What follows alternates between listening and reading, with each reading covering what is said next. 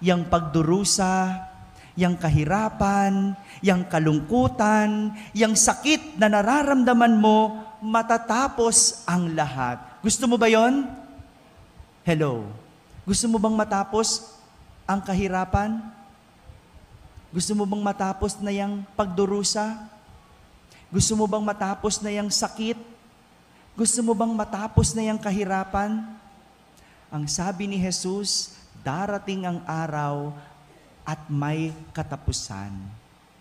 Ngunit, hindi doon natatapos. Hindi lang kahirapan ang matatapos, kasama ang kasiyahan, kasama ang kasikatan, kasama ang kasaganaan, kasama ang kayamanan, kasama ang kaginhawahan.